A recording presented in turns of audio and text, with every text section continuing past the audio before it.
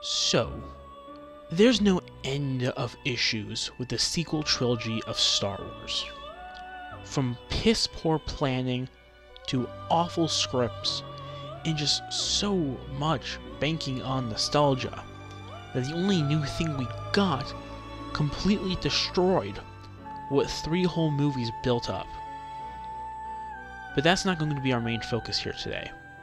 Probably not for several weeks. Today, our focus is going to be the polar opposite of the last essay about the hero's journey.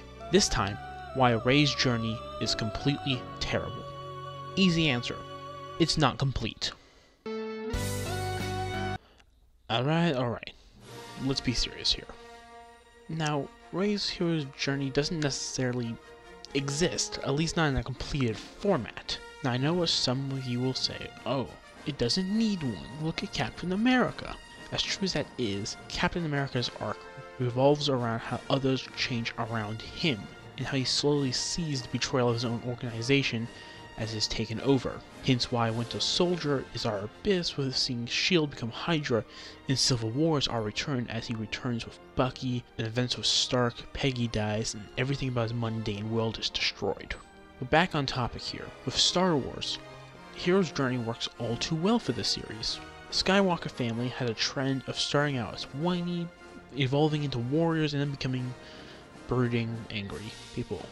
Okay, aside from that last point, if Disney is so insistent on nostalgia, keep the trend going. If you're so obsessed with it, keep the same arc. Especially if they want this thief to be a Skywalker, which is stupid for various reasons, but I digress. Now, a couple of disclaimers. I have nothing against the actors behind these characters. This is a critique of the characters and writing. This is not, I cannot stress this enough, not a rewrite of the trilogy. Secondly, some of these videos are going to be much longer and harder to make since it is very hard to get Disney Star Wars footage. So bear with me. And lastly, this is going to be a multi-part video, one for each movie, hence why this prologue is already long enough as is.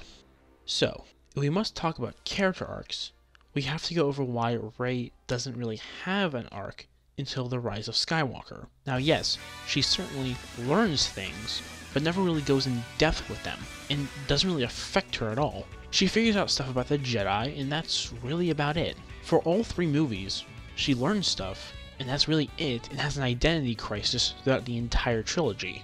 That's not entertaining, especially when those traits are the only things notable about her, with the exception of being nice to everyone and having a bloodlust for Kylo Ren. But I digress, let's get into this.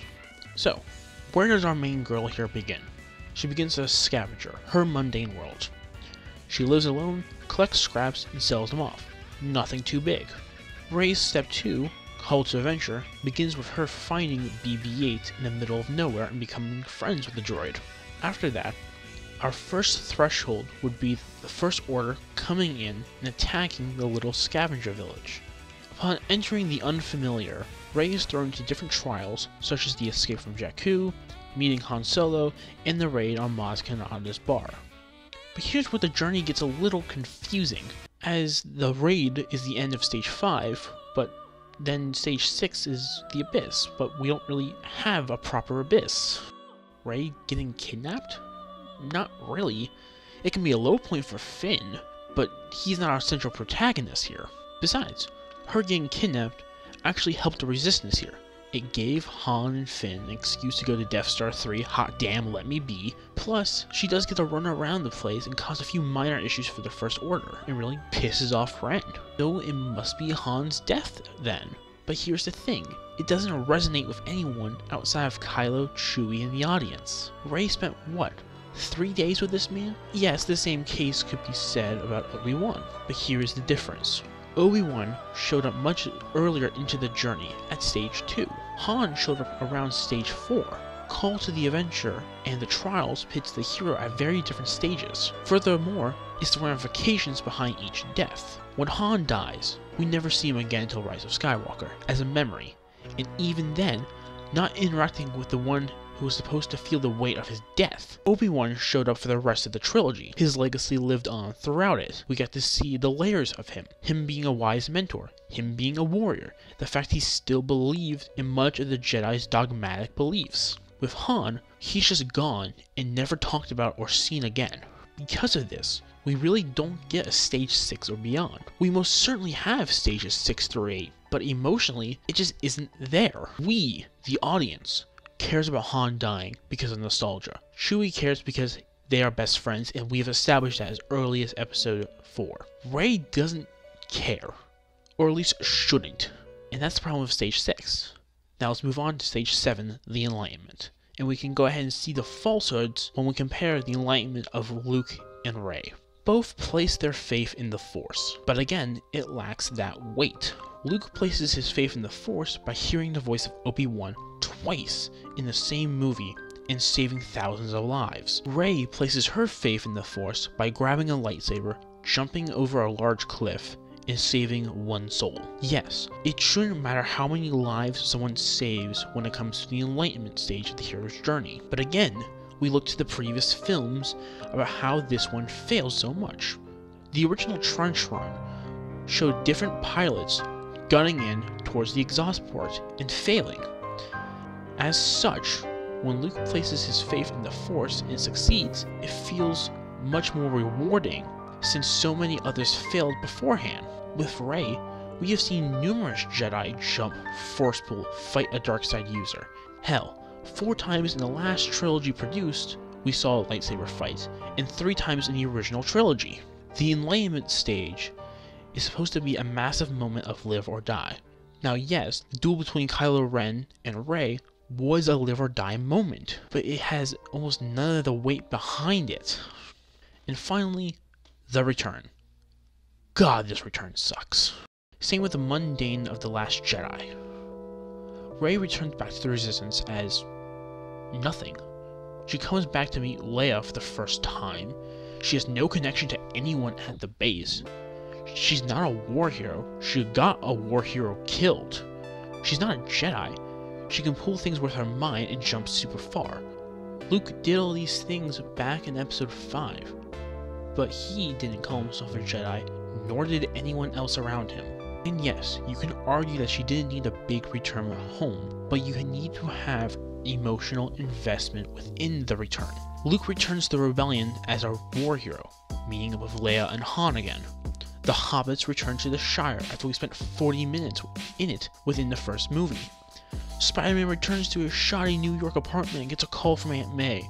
By making the return a form of emotionally charged character or setting moment, we can probably feel the impact of the film's events and how they impacted everyone else in this environment. But we don't get that here. She begins already with the mundane of The Last Jedi. She takes off and then the second movie begins and we never really see what the return becomes the mundane. It just blends together and it doesn't feel right. As a result, this makes the movie fail even more with little to no payoff and a rushed job to get the next movie going. Now, if we got a proper time jump between movies, then I would say this will be fine but it's not. Force Awakens epilogue is just The Last Jedi's prologue. We get there when we get there. Overall, it's not the worst hero's journey. Hell, I would never call it that. But it fails on the biggest point. Rey does not change. She never changes at all. In the hero's journey, the hero must change. We don't get that. The only change we get is her using the Force now. And the thing is, there are so many different ways you could have gone through with this. If the Disney execs were so obsessed with Rey being a Skywalker, why not make her Luke's biological daughter? Make her arc about legacy, not wanting to go out and ruin the Skywalker name. Meets with Leia and trains with her or Han in Stage 2. Stick with the usual plot points of The Force Awakens. Tweak a few things here or there, kill off Han at the usual point to give Rey more weight, then we could have her enlightenment be sparing Kylo Ren's life. Again, Disney, or Kennedy, whichever the one. If you want Rey to be a Force deity, make her the daughter of Luke, fight off and beat Kylo, but spare him, wanting to change the legacy of the Skywalkers, who always seem to butcher and fight within the family. She says, no more, and leaves. There's her enlightenment. She meets up with Leia at the Resistance HQ and continues training with Leia, and bam, there we go. Quite honestly, there are so many ways you can make Rey into a fantastic character with a fantastic arc. And I know most of, if not all, Disney Star Wars is reactionary, but with more planning, I could see her being up there with some of the great Star Wars characters. I want Star Wars to be great, but if you're just going to throw darts and see what sticks, that's not a well constructed arc. That's a child in a sandbox thinking mud pie is the Mona Lisa. In other words, a galactic level fuck up.